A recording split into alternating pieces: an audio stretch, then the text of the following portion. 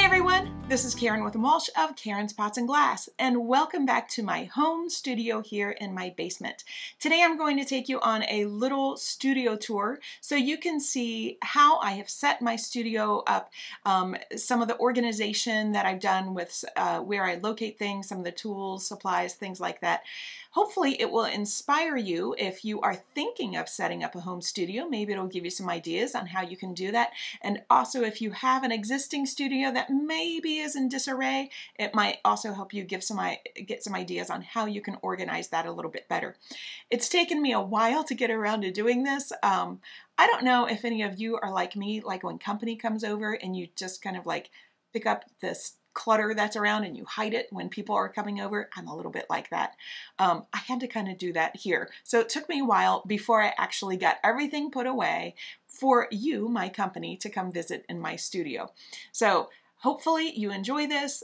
Don't forget to like and subscribe if you haven't done that, and drop me any comments below if you have any questions. And here we go. All right, so this is the approach to my studio as I come down to the basement.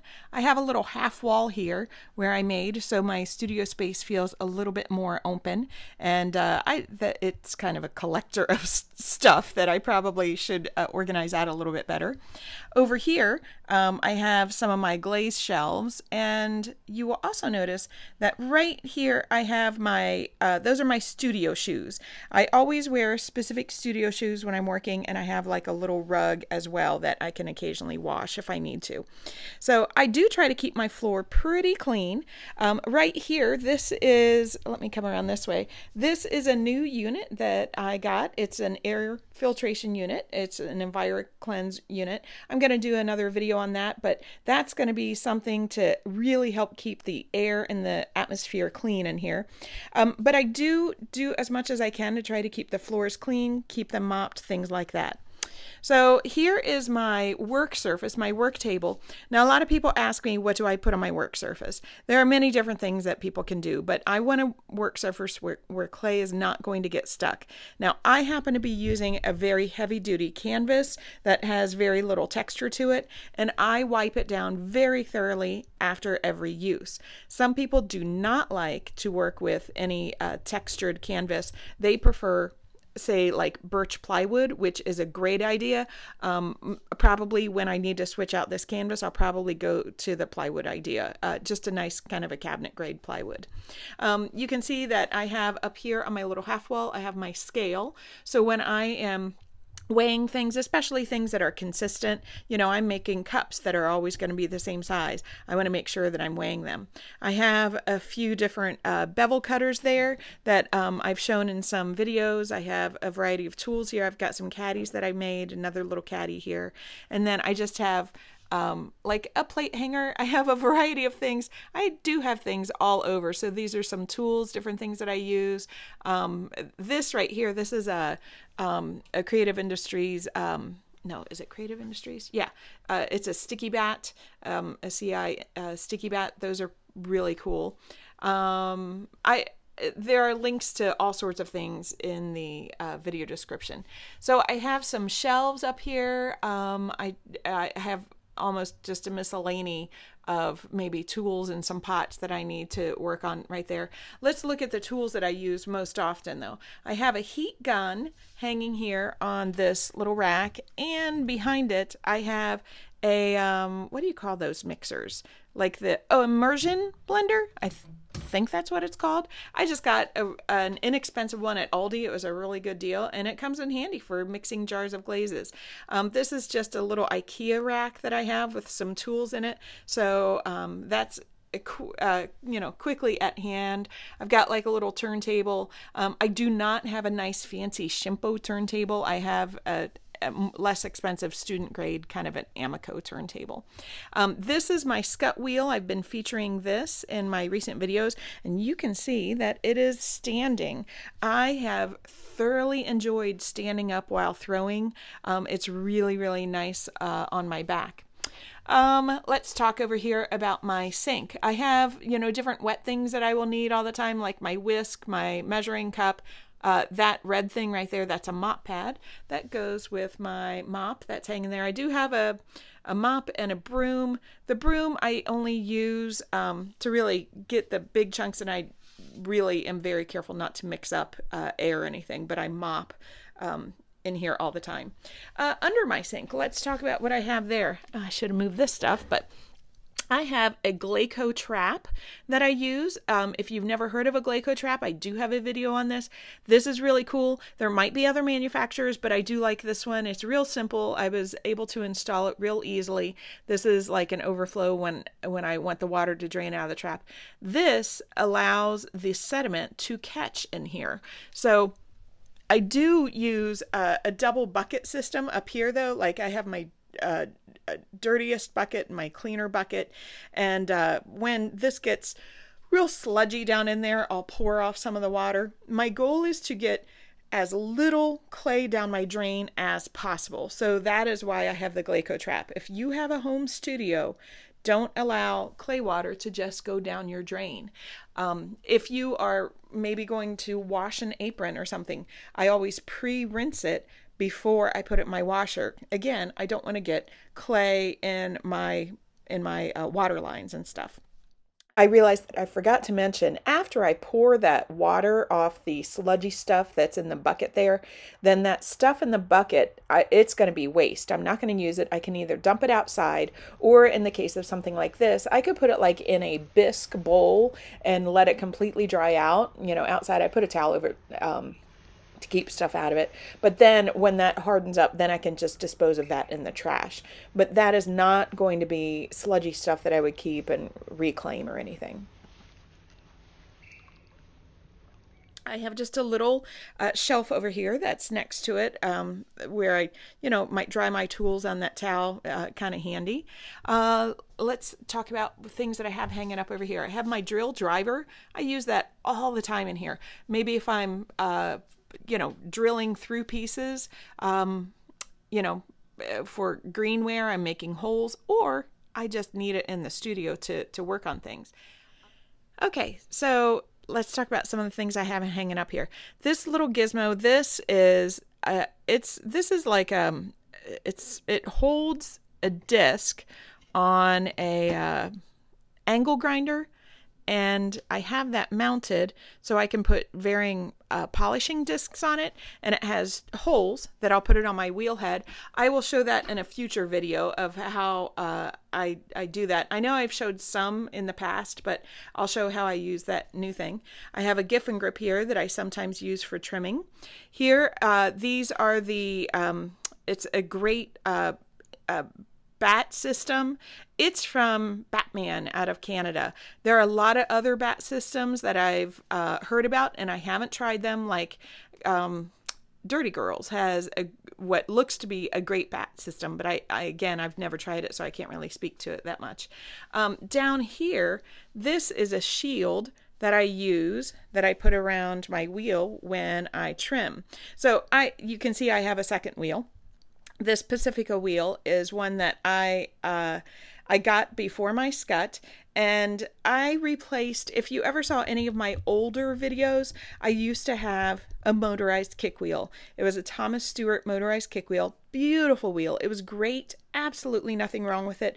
It was just too loud for me to do demos. So I ended up by um, getting the Pacifica so I can uh, do demos and then the Skutt which is just a fantastic workhorse. Um, and this is what I've been doing my new wheel series on. But anyway this shield that I have back here that's actually uh, just um, what do you call them cutting boards from like the dollar store which is pretty cool and i'll show that in another video uh, coming up too on uh, doing trimming. And you might notice that in addition uh, i have bed risers underneath the bottom of my pacifica wheel. I like to have it raised just a little bit. So as i'm sitting there i'm not leaning over so far. Um, i don't have a lot of lower back problems but i'm just trying to prevent it uh, over here, I have my kiln log that you should always have your kiln log uh, if you have your own kiln. There's a, another sticky bat, and then I just have like a little sieve uh, right there. I also keep my other my like my diamond core polishing pads man if you've never tried diamond core uh, pads they are super sweet. D- Diamond Core has some fantastic um, polishing and uh, sanding uh, types of things. Um, and let's see, I keep little clips there and everything, things that I just need all the time. And up above, I have uh, some of my storage for uh, pots. I need to get some of that stuff listed on Etsy because I'm just really far behind. Um, I've I've got my glaze brushes over here. I have some miscellany tools over here that I use. And then you can see I just have some buckets with some dry stuff that I still need to uh, reclaim. I have some kiln things over here, like I have uh, bigger kiln posts, smaller kiln posts, um, patties. I keep uh, uh pre-fired patties here um, some more patties up on this shelf, and then I have like squeezy bottles and things like that over there. Uh, some of my half shelves I keep over here, full shelves I keep there. You can see I have that one shelf that's fully broken. Uh, I I just can't bring myself to throw it away at this point. Um, I keep my gloves hanging up over there. Those are my gloves for the the kiln. They're the gloves, so if I, I, I need it for high temps. Keep my big giant rolling pin there with my slab sticks, which I've used the slab sticks in most all of my slab videos. Um, I do have a slab roller at school and I used to have one at home, but I sold it because I prefer the rolling pins and the slab sticks. I have a small rolling pin that I keep here just for small things. Um, and then my Skutt kiln, uh, you may have seen my videos on my kiln before, but I have an overhead um, Vent-A-Kiln system. Uh, Skutt, of course, does make the EnviroVent, which is really good. If you see this little pipe, that's my old EnviroVent. Uh, when that conked out, I ended up by getting the um, the overhead one because I tended to notice I had a little too much heat down here, and the Vent-A-Kiln for me was venting out a little bit more of the room heat uh, as it came out of the kiln. Um, now, I do want to mention one thing. Uh, I do have a video that I'll be showing soon about my new touch screen on my uh, on my Skutt kiln. I have a new touch screen, and the one thing that I want to emphasize is, is if you have a kiln please always, always, always read your owner's manual. It is so important. Don't just fire and kind of wing it thinking that you know what to do. Please be diligent about it. It's a it's it's a big safety issue. Now, I will point out one thing too that if you see over here, my kiln is uh, plugged into the wall. I do recommend if you can do it, hard wire it in. It's really actually safer if you can hardwire it in. And then I have shelving, which I really need to finish. I have an enormous number of bisque fired pots that I need to finish. Um, these are a couple of my uh, drape molds. You may have seen those in some of my videos uh, that I've shot before. They're the bamboo tools drape molds. They're really sweet, uh, cool uh, molds. I'll put a link in the video description again if you want to see, um, if you want to go to Bamboo Tools website and see some stuff. And then just coming around over here, I know it looks super cluttered, doesn't it? Okay, and then over here, these are really, I consider these my glaze shelves, and um, I've kind of got them sorted out. Um, I have some Mayco up here, which I've got a video that I'll be doing on the Mayco Stroke and Coat, which I was extremely pleased with. The um, my coyote glazes, some more Mayco stoneware glazes, some more coyotes, some of my Amaco glazes down here, and um, yeah, just, just some miscellaneous things where I maybe have things in little jars and stuff. And let's see. Oh, I didn't mention over here. So underneath my workstation, let me move my chair. I have, in addition to my boxes of clay, I have my reclaimed clay. So I have a I have several hundred pounds of reclaimed clay that I did last spring. Um, I use a white uh, stoneware, a white B-Mix uh, stoneware, sometimes with grog, sometimes without. Um, and these two bins right here in the middle, I want to explain what those are. These are damp boxes. You uh, may have seen me talk about damp boxes in other videos. The one in the bottom is really more characteristic um, I just ran out of room. That's why I had to go with the top one. You see in the bottom here, this is plaster. So I have like an inch and a half or so of plaster that was poured into the bottom. And then uh, once the plaster sets up, you can add water and set your pots on top and it will keep your pots moist for a very long time. Um, I mean, I've kept pots moist for months and months and months. So um, it's a great way to kind of maintain your pieces. If you are thinking that you can't uh, get to them right away, that's a that's a great thing. Also, I think this, if I'm not mistaken, is this, yeah. So there's a that's full of like uh, my brown stoneware from school. I brought some of those home to uh, finish up um, here at home. But that also has plaster in the bottom. So that damp box is just a big bucket because it has plaster in the bottom. Um, let's see. Let's go over here. Okay, so we've talked about my glazes and everything. And then I want to show you, I have my pottery closet. So when we redid our basement a few years ago, um, I made a, a closet with shelves so I can store my stuff. And like the, the where the little red tags are, those are uh, tags of what should be there. And I know I need to kind of redo those. I do a line of national park mugs, so I need to like uh, replenish. I've, I've gone through a lot of those. So that's my pottery closet. And then coming around over here, this is this is a little messy, so I apologize for this.